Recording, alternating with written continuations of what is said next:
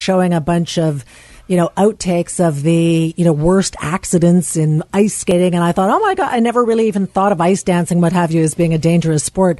And yet you see what these athletes are going through. So my next guest you know the olympics probably brings up some some some bad memories frankly for him.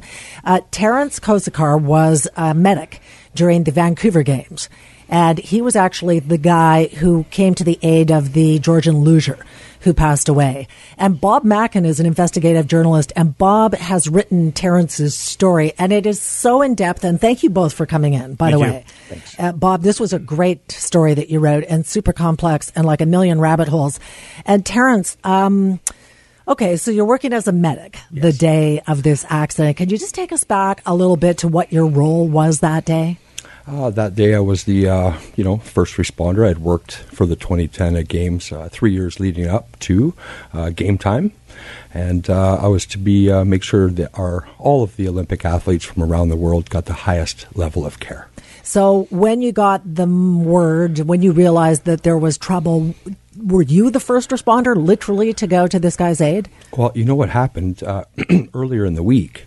Uh, Nodar had crashed two other times during training runs, so you know uh, we're prepared for his third run. Where is he going to crash? And you know it was it was pretty awesome because he had made it through the 50-50 where he had crashed earlier in the week, and we're all standing at the bottom watching. And yeah, you know, he made it right on. We're watching him try to finish his run, and uh, you know he came in hot into uh, through the Thunderbird into corner 16. Watched him hit the roof, and immediately I know what's going to happen. He's got to head towards the finish line and uh, respond to this crash. So I was, I was running towards the finish line, uh, looking for debris, ice coming out of the outrun. That's when I witnessed uh, Nodar come out of the track and uh, collide with a solid steel post. So, oh. yeah. I mean, it was such a tragedy. The guy was 21 years old. Yeah, just a boy. And I know that that's what you're trained to do. But when it happens, I mean, you're just acting, right? You're doing what you're supposed to do. Yeah. How then did that incident affect you? Because I believe you were told, don't talk about it. That's right. Absolutely. A few minutes after uh, we pronounced Nodar um, uh, deceased at the polyclinic, uh, fancy suited man came walking in and uh, he just had said, you know, we don't talk about this to anybody not your family, not your friends, not the media, coworkers, nobody. You know, when you're sitting there after uh, such a um, incident like that, uh, you're not really listening, anyways. You're trying to relive, like, what did I do wrong? Like, what more could I have done? The uh, did you, know, you the, blame yourself? You couldn't have blamed yourself. Well, absolutely. It's a natural response. You know, there's a boy who's uh, not going back home to his family, and uh, I feel like I didn't do my job. So I didn't know, um, you know, how to manage my feelings. Uh, the next day it was back to work. Put your mask on and get back to work. Okay, well, I mean, and we know first responders need to deal, you're trained to deal with horrific situations, but you internalize stuff like that. I mean, how did this young man's death then impact you going forward? Well, going forward, every single day of the Olympics, things for myself uh, just got worse and worse and worse. And, you know, we're not trained on how to deal with self after such an accident. It's always uh, train, train, train, practice, routine on the patient, save the patient, help the patient, but nothing uh, over my eight years as a firefighter and a medic on how to deal with my feelings afterwards. So as the games went on, day after day, um, things just got worse. My anxiety levels were up. I wasn't sleeping. I was uh, stressed out, and the the amount of guilt and shame that comes over you, you don't know you should talk, you don't understand uh, what's going on within self. At the same time, I'm still ha- I'm having these flashbacks from my childhood and my teenage years. All those years of, uh, you know, it's been a long journey to get to be to where I was. But um, I'll tell you what ended up happening. Uh, one hour after the Olympics were over, I couldn't take uh, my feelings anymore, the confusion, and I tried to end my life. Oh my God. Um, yeah, it wasn't until uh, four days later I went to talk to my doctor and said, "Hey, why is it that I risk my life to protect and serve the public? I'm a family man. I play on two hockey teams. I'm a paid-on-call firefighter. Why, why the heck did I just try to end my life?" He says, "I think you have." PTSD. That's the first time I heard that word. I said, "What the hell is PTSD? What kind of crack his diagnosis is this. And you know what he says to me? He says, You're going to need to see a psychologist to get diagnosed.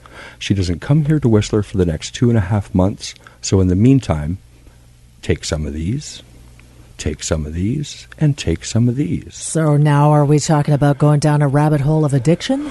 Oh, now we're talking about numbing the pain, numbing, uh, escaping our reality with the uh, antipsychotics, the copious amount of sleeping pills, and the worst of the worst, Percocets. Uh oh. Oh, buddy. Well, uh oh at the time wasn't uh oh, it was yeehaw. At what Yeah. point, and what was your hitting bottom moment? Bottom moment was five years later. I had um, went through. Um, I lost my family of thirteen years.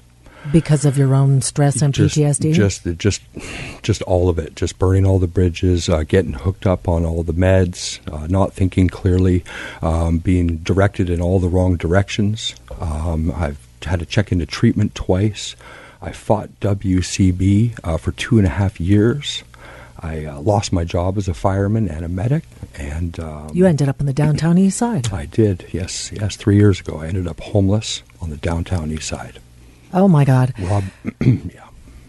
We are having um, quite a dramatic conversation with Terrance Kosikar. Uh, he is the executive director now of an organization called Camp My Way, which is supportive of veterans and other people with PTSD. He is a former first responder. And Bob Mackin, I swear we'll get you in in this next segment, Bob. Bob is the investigative journalist who told Terrance's story uh, and brought this to light. We're going to have more with both of them. Both of them when we come back. The latest AM 730 traffic in 60 seconds. This is the Lynda Steel Show on 980 CKNW. You're badass. Huh? You are so badass. I oh. love it. You just you walked me like to the end and didn't allow me to because sometimes Bob will tell you I'll go oh, I'll give you the whole two hour story. So thank you for You know what, though? jumping and me this through. was good, though, because what you're saying is so powerful and so dramatic that I'm sure people are like, wanted to go in to save on foods but stayed in the car because they want to hear the rest of what you're saying, right? So you're doing the right, you're doing a great job. Yeah, thank you, thank you. Welcome back. Having a fascinating conversation with a guy named Terrance Kosikar. He's a former first responder, a medic who attended to the young uh, Georgian luger who lost his life here at the Vancouver Olympics, and Bob Mackin, an investigative journalist who told Terrance's story. I mean, first of all, Bob, how did this story come to you?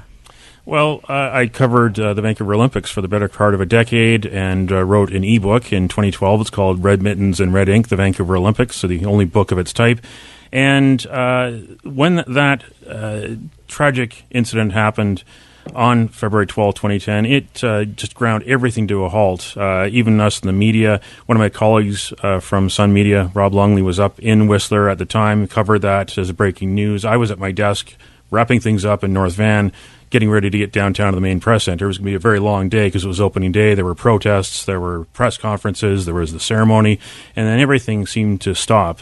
Uh, when that happened, uh, got the first reports, started to get onto the story for my editor, started to look actually on YouTube. It was on YouTube very quickly because everything in the modern Olympics is a broadcast. Not only were the athletes on their final training runs, but so were the broadcasters, making sure the broadcasts were top quality. And someone somewhere along the way put the broadcast quality uh, edition of that online very quickly. So I saw it very quickly uh, as the news was breaking uh, and it was uh, just numbing. Just it was like a punch to the gut. And I thought to myself, what about the people that were there doing their best to try to uh, help save a life? And uh, several years ago, Terrance started to do his uh, fundraising and awareness raising events. Flipping the tire, putting his jeans on, flipping a tire. Uh, very uh, interesting visual image and metaphor, and started to tell people that he was the medic, but wasn't telling his full story at the time. I got in touch with them, and it wasn't the right time for him at the time, and uh, we sort of went back and forth uh, until last fall. He said, "Finally, I, I want to tell my story. Uh, I want to tell everything about my life, and especially tell my story about what happened that day." It is an amazing story. Bob wrote it in two parts, and you can find it at thebreaker.news. So, Terrance, then did the IOC ever come to you and say you're suffering from PTSD and this is how we can help you? Absolutely not. no, they did not. It wasn't until uh, 2012 when I got out of uh, detox and treatment. I was up to, well, just uh, uh January, beginning of January 2012. I w- had to check in to a Vancouver detox because I was up to taking almost uh, 45 Percocets a day. Oh my God. And inducing uh, a lot of crystal meth and cocaine at the time. Um, I finally got my vision back uh, when I checked into a treatment center, started the uh, ball rolling with WorkSafe BC. And uh, when I got out of treatment, I said, you know what? I think I should uh, send a message to Mr. John Furlong and let him know what the heck's going on here. At the end of the day, has the IOC ever accepted any responsibility for what it should have done? It should have reached out to the first responders to offer them support, both at the time and going forward. Um, I, I, would, you know, it's a it's a negative response. They've uh, uh battled with uh, uh, VANOC. Um, everybody kept trying to say, you know, we're not we're not a we're not at a committee anymore. Everybody tried to put it off to the next guy.